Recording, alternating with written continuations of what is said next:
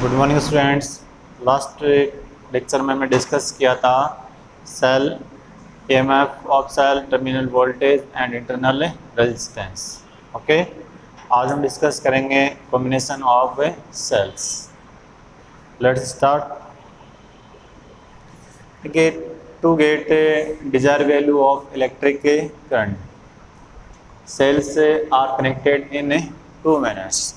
One is combination and another is another is combination मतलब current की जो हमें डिजायर्ड वैल्यू है या वोल्टेज अपने जितना डिजायर्ड वोल्टेज अपने को रिक्वायरमेंट है, उसके अकॉर्डिंग सेल्स को हमें सीरीज़ और पैरेलल कॉम्बिनेशन में कनेक्ट करते हैं। तो हम इसमें आप फ़र्स्ट डिस्कस करेंगे series combination of cells okay अब देखिए स्टार्ट करते हैं सीरीज़ कॉम्बिनेशन तो सीरीज़ कॉम्बिनेशन का मीन क्या होता है? Negative terminal of one cell negative terminal of one cell is connected to the positive terminal of next cell and so on then cells are said to be connected in a series combination. Clear? देखिए first cell है, इसका जो negative terminal है, वो second cell के second cell के positive terminal से। और आगे भी इस तरह से होगा।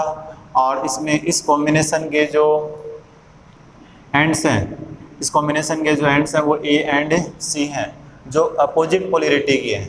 जो अपोजिट पोलरिटी देखो ए किससे कनेक्ट है? पॉजिटिव टर्मिनल से बी है वो सी है वो नेगेटिव से। ये अपोजिट जो पोलरिटी के जो टर्मिनल्स हैं वो रेजिस्टेंस आर के साथ कनेक्ट है। क्लियर आपको देखिए in figure two cells having EMFs E1 and E2 and internal resistance is R1 and R2 respectively clear and external resistance capital R connected between points A and C okay or current I is flowing in the circuit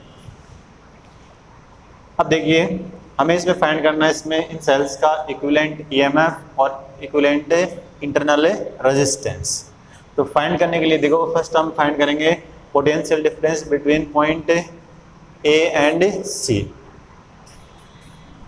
तो potential difference between point points A and C तो इनके between जो potential difference होगा वो V A C और V A C equal to होगा V A minus V C और ये इक्वल होगा V A minus V B और plus V B minus V C okay और V B C V B cancel हो जाएगा तो अपने पास क्या ऑप्टेन हो जाएगा? V A minus V C equation right है। अब देखिए, आपको मैंने बताया था, इसमें ई एम एफ़ और इसमें टर्मिनल वोल्टेज के बिटवीन रिलेशन बताया था। V equal to E minus V equal to E minus I R तो इनके सेल जो फ़र्स्ट सेल है, उसके एक्रोस जो पोटेंशियल डिफरेंस होगा मतलब V A minus V V वो क्या होगा? ई वन की जगह क्या होगा यहाँ? ई वन और करंट कितनी है? आई और रेजिस्टेंस कितना है? आर वन तो यहाँ ये वैल्यू क्या आ जाएगी अपने पास?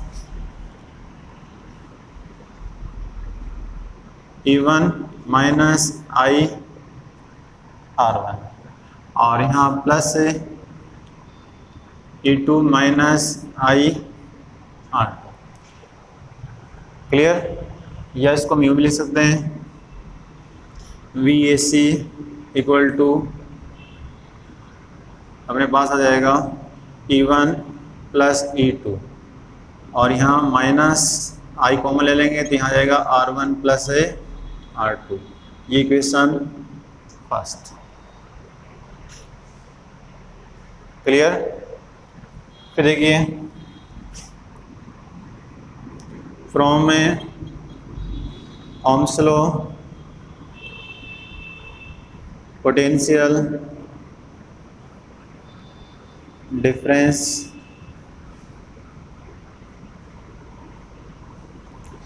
across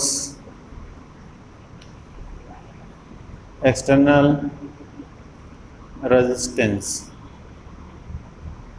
External resistance external resistance के अक्रॉस जो पोटेंशियल डिफरेंस होगा, वो फाइंड करेंगे तो होगा वी वी को यहाँ होगा वी ए सी के इक्वल होगा और ये इक्वल टू आ जाएगा अपने पास I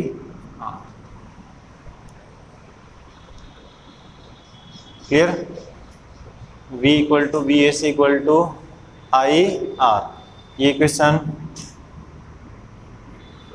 आ जाएगी अपने पास सेकेंड अब from equation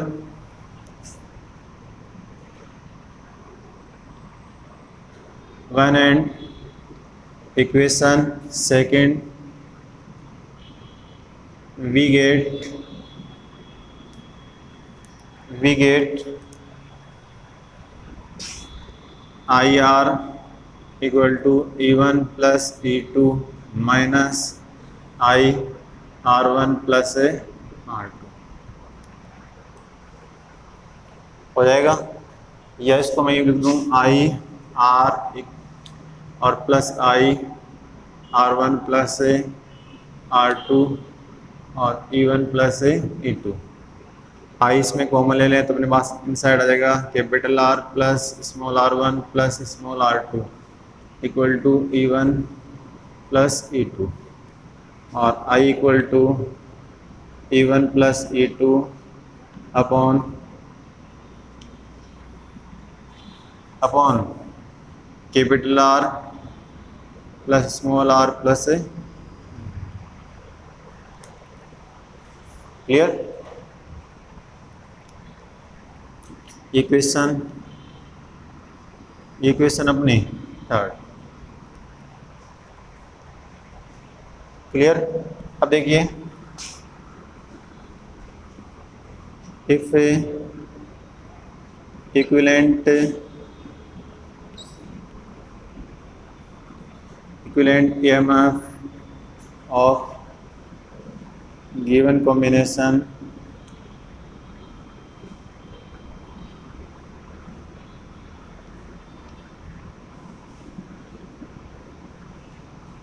equivalent and equivalent resistance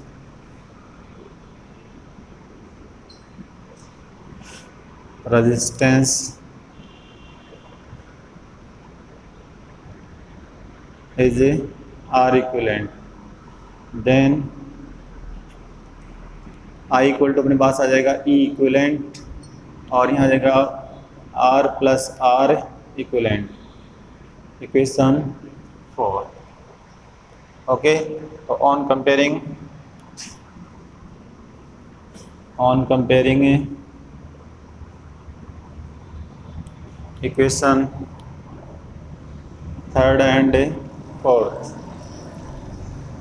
third और फोर्थ को अगर कंपेयर करेंगे तो अपने पास इक्विलेंट होगा?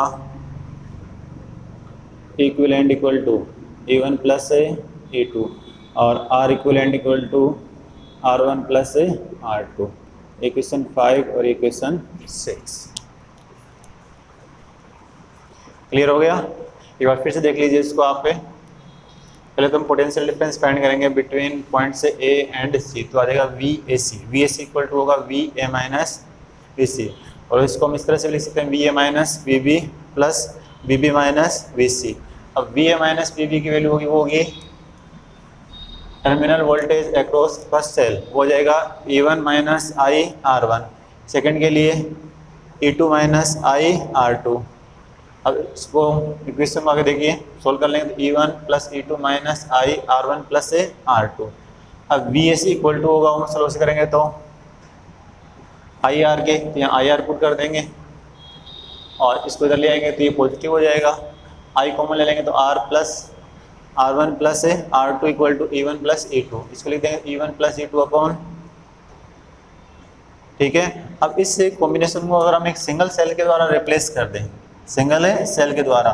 इसका ई एम एफ़ इक्विलेंट और internal equivalent internal resistance R equivalent then current I equal to equivalent upon capital R plus R equivalent अगर कंपेयर करेंगे तो equivalent equal to equivalent equal to E one plus E two और R equivalent equal to R one plus R two ये आ जाएगा अपने पास M F और इक्विलेंट इंटरनल रेजिस्टेंस ओके अब देखिए इसमें कंक्लूजन्स हमने अभी डिस्कस किया था, तुमने बस करंट का फॉर्मूला आ गया था I equal to E one plus E two upon capital R plus small R one plus R two equal to equivalent upon capital R plus R equivalent compare किया तो equivalent equal to E one plus E two और R equivalent equal to R one plus R two इससे क्या clear हो गया? कि equivalent E M F of the series combination equivalent of series combination is equal to sum of individual EMFs of a cell. Okay और internal resistance देखेंगे तो equivalent resistance of series combination is equal to sum of individual internal resistances of cell clear अब next देखिए इसमें if N cells of equal EMF A and internal resistance small r. Internal resistance small r. Are connected in a series. Are connected in a series. मतलब N cells हैं, वो series में connected हैं, लेकिन उनके EMF और internal resistances same है। तो उस कंडीशन देखिए E one equal to E two equal to E three और equal to E N equal to क्या जाएगा अपने पास? E e. क्लियर और इंटरनल रेजिस्टेंस देखेंगे तो R one plus R two R three और यहाँ क्या जाएगा? R N equal to R okay उस कंडीशन में आप देखेंगे तो ई इक्विलेंट अपना आ जाएगा। एन सेल्स के लिए तो इक्विलेंट अपना आ जाएगा एन ई e और आर इक्विलेंट अपने पास आ जाएगा एन आर तो इलेक्ट्रिक करंट अगर फाइंड करेंगे इलेक्ट्रिक करंट का फॉर्मूला बताया था आपको E equivalent upon capital R plus small R equivalent ये आ जाएगा एन ई और आर प्लस एन आर तो करंट क्या जाएगी? I equal to N E upon capital R plus small N into small R okay अब next देखिए next conclusion if the polarity of either cell in the combination is reversed then equivalent emf then equivalent emf देखिए ये cell है ये इस, इस manner में आपको मतलब कनेक्ट है लेकिन अगर किसी एक सेल की पोलरिटी हम क्या कर दें? चेंज कर दें। जैसे मान लीजिए फ़र्स्ट सेल तो सही कनेक्ट है। इसमें हमने कोई चेंज नहीं किया। ओके और सेकंड सेल की पोलरिटी हमने चेंज कर दी।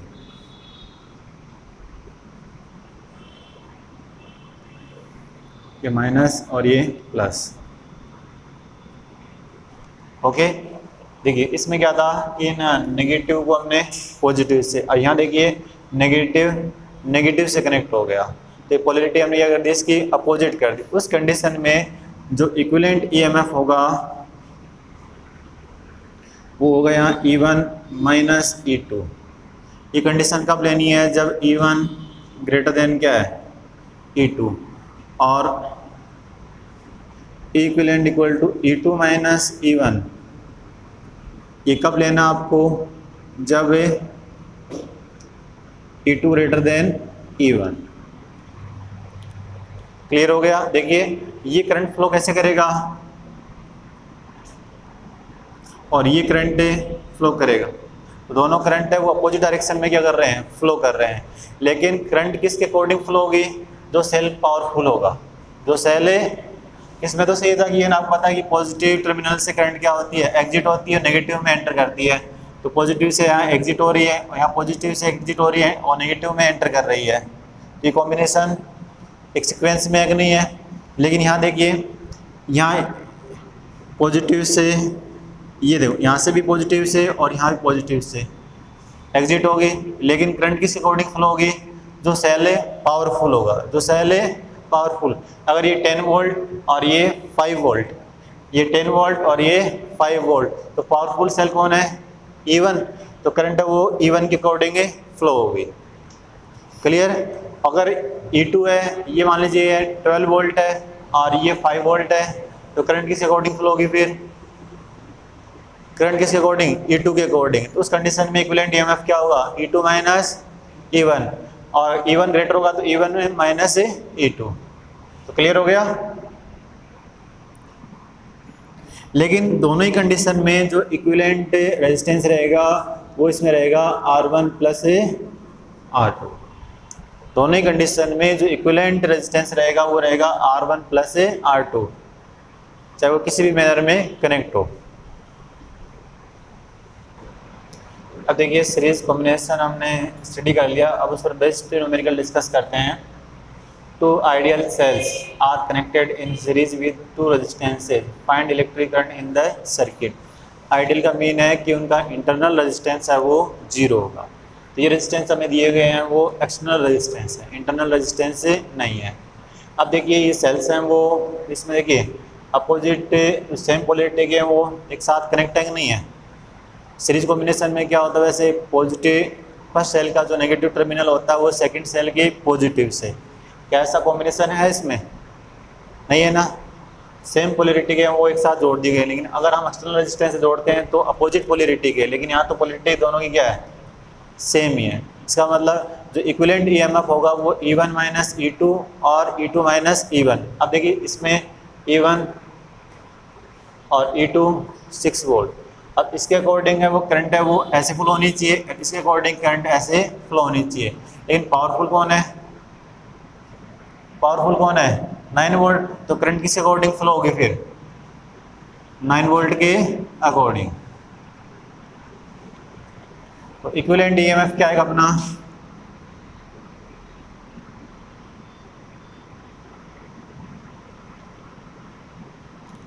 EMF equivalent equal to E one minus E two ऐसा क्यों? क्योंकि आपको पता है कि यहाँ ई वन ग्रेटर देन क्या है? ई टू और सेम पोलरिटी के जो टर्मिनल है वो क्या है? कनेक्टेड है।